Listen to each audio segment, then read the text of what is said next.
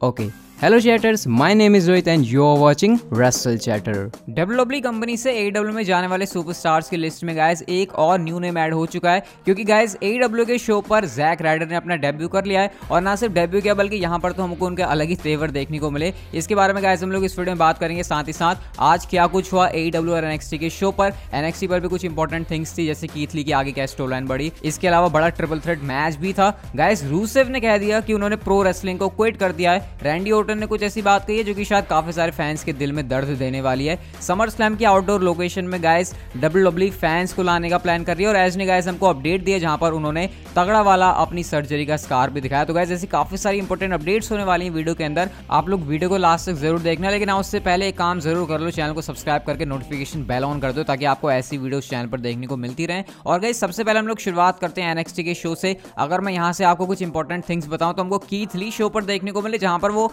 सीधा सीधा Karen cross से कहते हैं कि, भाई, तेरे को जो भी प्रॉब्लम है तो सामने आ जा। ये लुक्का छुपी का गेम खेलने में मेरे को ज़्यादा कोई इंटरेस्ट है नहीं। और गैस यहाँ पर जो लुक्का छुपी का गेम था, वही कंटिन्यू रहा, क्योंकि स्कारलेट यहाँ पर आती है, लेकिन स्कारलेट से पहले यहाँ पर आते हैं कैमरन ग्राइम्स और कैमरन ग्राइम्स तो सिर्फ़ उनको परेशान करने के लिए आए थे कीथली ने उनको यहाँ पर धो भी दिया। और स्कारलेट के आने के बाद कैरन क्रॉस हमको सिर्फ़ स्क्रीन पर देखने को मिलते हैं, जो कि यहाँ से बता देते हैं कि उनको प्रॉब्लम कीथली से ज़्यादा नहीं है, उनको चाहिए एनएक्सटी चैंपियनशिप जो कि फ़िलहाल कीथली के पास है। तो डब्ल्यू धीरे धीरे इनकी स्टोरी लाइन को आगे प्रोग्रेस कर रही है, एकदम से इनके बीच कुछ ऐसा दिखाने रही कि दोनों आकर एक दूसरे से भिड़ गए। लेकिन हाँ आने वाले शोज़ पर तो ये चीज़ हमको देखने को मिलने वाली है। इसके अलावा गाइज़ हमको NXT tag team champions Imperium देखने को मिले, जहाँ पर उन्होंने काफ़ी इजीली यहाँ पर एवर राइस को डिफीट कर दिया। लेकिन गाइज़ मैच खत्म होने के बाद हमको एक ऐसी चीज़ देखने को मिली, जो कि अभी से कुछ महीनों पहले डब्ल्यू टेलीविज़न पर हमको रेगुलर देखने को मिलती थी, और वो था अनडिस्प्यूटेड एरा का अटैक काफ़ी टाइम के बाद यहाँ पर सारे बंदे एक साथ थे, और उन्होंने अटैक किया इंपीरियम के ऊपर। इस तरीके से उन्होंने बता दिया कि अनडिस्प्यूटेड एरा अभी खत्म नहीं हुई है, क्योंकि भली उनके पास से सारी चैंपियनशिप जा चुकी हैं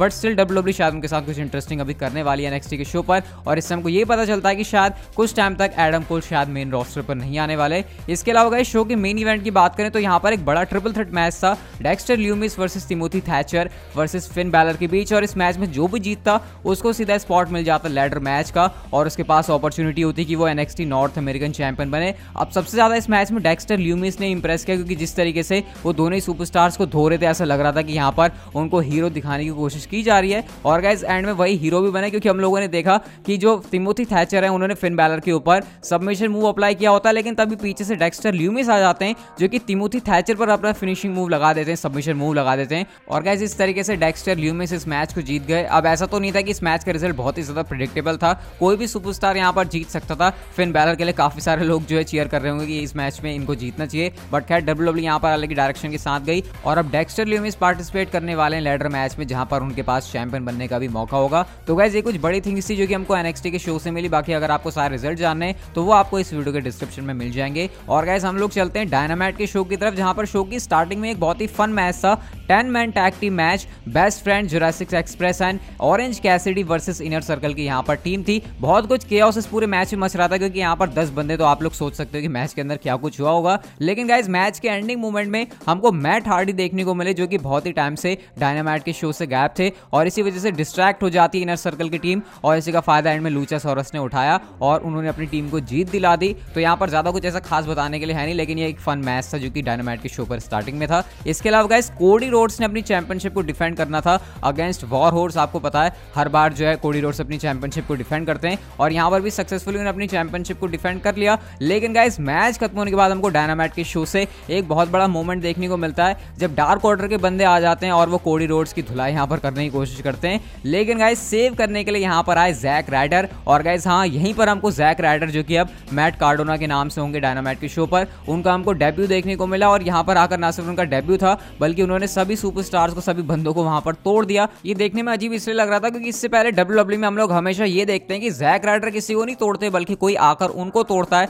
लेकिन एडब्ल्यू ने यहाँ पर इंप्रेसिव तरीके से जैक राइडर को बुक किया। एंड ऑब्वियसली करते भी क्योंकि आज उनका डेब्यू था। और बाद में कोडी रोड्स और जैक राइडर काफ़ी ज़्यादा खुश होते हैं। तो भाई, अब देखो जैक राइडर क्या करते हैं ईडब्ल्यू में, क्योंकि अब उन्होंने साइन तो कर लिया और शायद इसीलिए किया होगा कि ए वाले उनके साथ वैसे तो कुछ ना करें, जैसा कि डब्ल्यू डब्ल्यू ने उनके साथ किया था। शो के मेन इवेंट की बात करें तो गैस यहाँ पर एक बहुत ही इंटरेस्टिंग मैच था tag team match tornado tag team match और नो डिस्कालिफिकेशन भी था। Jon Moxley and Darby Allin versus Brian Cage and Ricky Starks के बीच, क्योंकि आपको पता है लास्ट वीक डायनामाइट के शो पर क्या हुआ था, इसी वजह से आज टैग टीम मैच था। और क्योंकि टोर्नाडो टैग टीम मैच था तो मैच में पूरी पेस बनी हुई थी। ट्रैश कैन का हम लोगों ने यहाँ पर यूज़ देखा स्पेशली जॉन मॉक्सली और एलन जिस तरीके से उनकी आपस में केमिस्ट्री है, क्योंकि डार्बी एलन काफ़ी ज़्यादा फुर्तीले हैं तो इस हिसाब से जिस तरीके से जॉन मॉक्सले उनके साथ काम कर रहे थे, देखने में बहुत ही ज़्यादा मज़ा आ रहा था। और गाइज़ जो मैच का एंड था, वो तो बहुत ही ज़्यादा खतरनाक सा था। अब आपको पता है डार्बी एलन हमेशा अपने साथ जो है स्केट लेकर आते हैं, लेकिन इस बार स्केट के नीचे टैक्स लगे हुए थे, कांटे लगे हुए थे, और गाइज़ उन्होंने स्टॉम कर दिया रिकी स्टाक को जब वो टॉप रोप से उनके ऊपर कूदते हैं, और भाई पीठ पर उनका इतना ज़्यादा खून निकल रहा था मतलब वैसे भी हम लोगों ने थम टैक्स देखे जब वो घुसते हैं तो सिर्फ़ वो छेद बनाते हैं।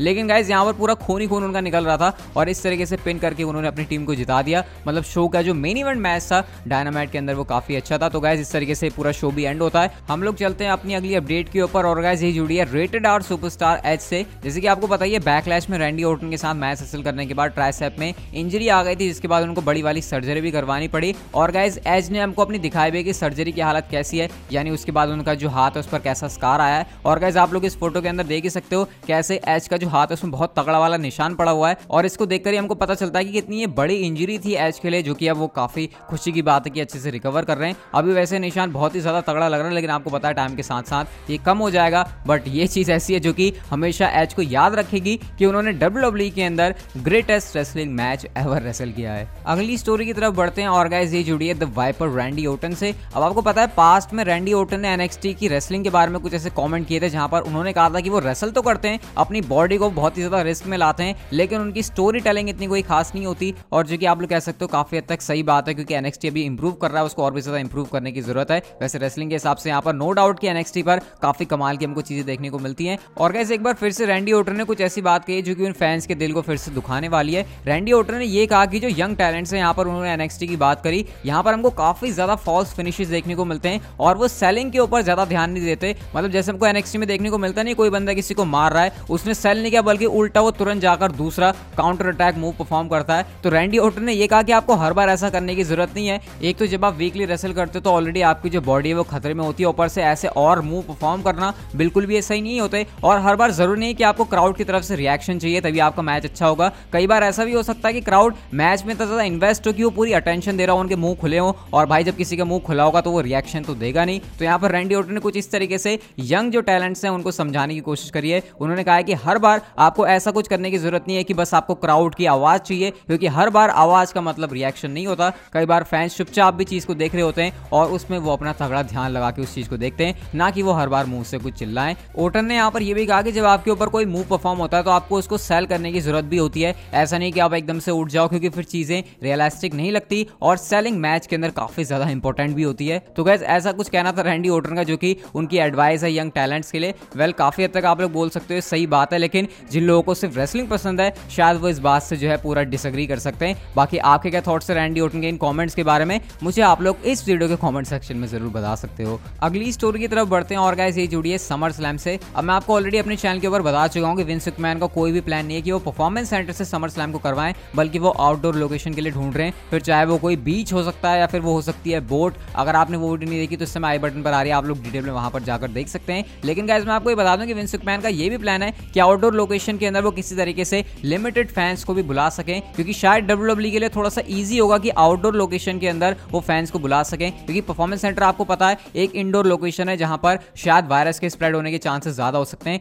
लेकिन अगर लोकेशन आउटडोर है, ऐसी जगह पर है, जहाँ पर इजीली फैंस आ सकते हैं तो फिर शायद डब्ल्यू डब्ल्यू यहाँ पर पूरी कोशिश करेगी, और समर स्लैम ना सिर्फ़ आउटडोर लोकेशन में होगी, बल्कि गैस इस बार आपको वहाँ पर फैंस भी देखने को मिल सकते हैं। अभी गैस मैं आपको बता दूँ, ऐसी कोई कंफर्मेशन तो नहीं मिली है कि फैंस होंगे ही होंगे, क्योंकि डब्ल्यू डब्ल्यू इस समय देख रही है कि कैसे वो फैंस को ला सकते हैं, लेकिन अगर डब्ल्यू डब्ल्यू अपने इस काम में सक्सेसफुल हुई तो गैस इस बार समर स्लैम का माहौल आपको बहुत ही ज़्यादा अलग देखने को मिलेगा। और गैस इसी के साथ हम लोग चलते हैं हमारे एक्शन फ़ाइल स्टोरी की तरफ़, जो कि जुड़ी है रूसेफ से। और रूसेफ के बारे में आपको चैनल के ऊपर बता चुका हूँ कि डब्ल्यू डब्ल्यू से जाने के बाद कैसे वो ट्विच के ऊपर काफ़ी स्ट्रीम कर रहे हैं, और वो वहाँ पर काफ़ी नाम भी कमा चुके हैं, काफ़ी सारे लोग उनकी स्ट्रीम को देखते भी हैं। और गैस स्ट्रीम पर उनसे क्वेश्चन पूछा जाता है, उनके प्रो रेसलिंग में दोबारा वापस आने के लिए या फिर डब्ल्यू डब्ल्यू में दोबारा वापस आने के लिए, कि वो क्या इसके बारे में सोच रहे हैं, क्या उनके फ्यूचर प्लान्स हैं। और गाइज़ यहाँ पर रूसिव ने सभी को शॉक कर दिया जब उन्होंने ये बोला I am done I am done with wrestling I am professional Twitch streamer now यानी उन्होंने ये कह दिया कि अब वो प्रोफेशनल रेसलिंग से पूरी तरीके से डन हो चुके हैं और अब वो हैं एक प्रोफेशनल ट्विचर इस बात ने सभी को शॉक कर दिया क्योंकि फैंस यहाँ पर ये एक्सपेक्ट कर रहे हैं कि आखिर कब किसी दूसरी और प्रमोशन के साथ रूसेफ साइन करेंगे, जैसे कि AEW में जाने के बारे में, क्योंकि वहाँ पर काफ़ी सारे स्टार्स जा रहे हैं। लेकिन रूसेफ की इस बात ने काफ़ी सरप्राइज़ किया कि वो प्रोफेशनल रेसलिंग में वापस जाने की सोच भी नहीं रहे और ऐसा भी नहीं है कि उन्होंने ये कहा कि फ़िलहाल उनका मूड नहीं बल्कि उन्होंने तो कह दिया I am done with pro wrestling आप क्या रूसेफ इस बात को सच में मीन करते हैं या फिर उन्होंने बात ऐसी हवा हवा में बोल दी है तो मेरे को नहीं पता, लेकिन ये उनके वर्ड्स हैं जो कि उनके ही मुँह से निकले। बाकी आपको क्या लगता है रूसेफ के फ्यूचर के बारे में? क्या सच में प्रो रेसलिंग में वापस नहीं आने वाले? मुझे आप लोग कॉमेंट करके ज़रूर बताओ। ये वाली वीडियो गाइस अगर आपको अच्छी लगी तो लाइक के बिना कहीं मत जाना। और चैनल को कर लो सब्सक्राइब नोटिफिकेशन बेल को ऑन ताकि आपको हमारे चैनल पर इसी तरह से प्रो रेसलिंग से जुड़ी सारी बातें जानने को मिलती रहे। See you guys my next video